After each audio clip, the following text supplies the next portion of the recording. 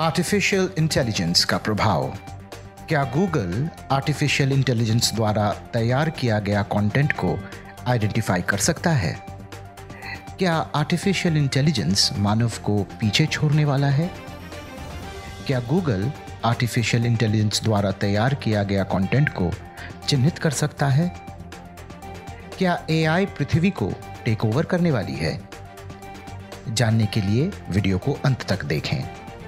Video में आगे बढ़ने से पहले मैं आपसे ये गुजारिश करूँगा कि आप हमारे इस नए चैनल को लाइक, सब्सक्राइब व फॉलो करें।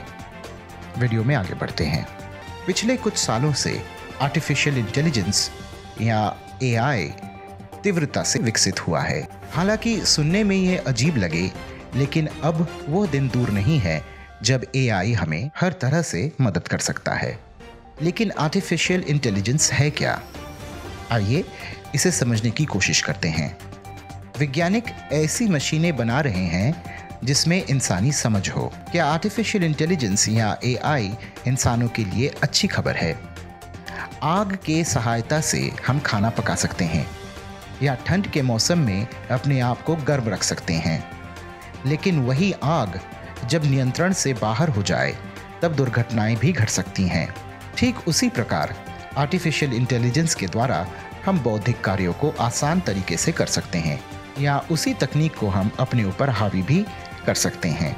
सुंदर पिचाई, गूगल के मुख्य कार्यकारी अधिकारी 2018 में अपने कंपनी के कर्मचारियों को संबोधित करते हुए कहा था, इंसान आज जिन चीज़ों पर काम कर रहा है, उनमें सबसे अधिक महत्वपूर्ण आर्टिफिशियल इंटेलिजेंस है।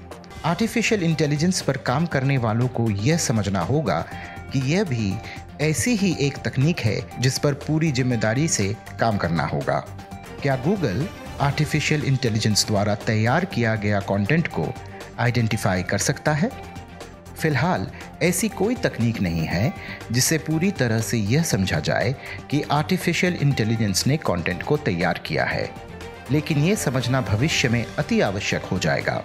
हमें इन तकनीकों पर भी काम करना चाहिए, जिससे हम यह पहचान पाएँ कि कंटेंट इंसान बना रहा है या मशीन एयर के इस चैनल पर आप किस तरह का कंटेंट देखना चाहते हैं, ये हमें कमेंट सेक्शन में लिख कर बताएँ। अन्य न्यूज़ को फॉलो करने के लिए आप हमारे सोशल मीडिया हैंडल को फॉलो कर सकते हैं। धन्यवाद।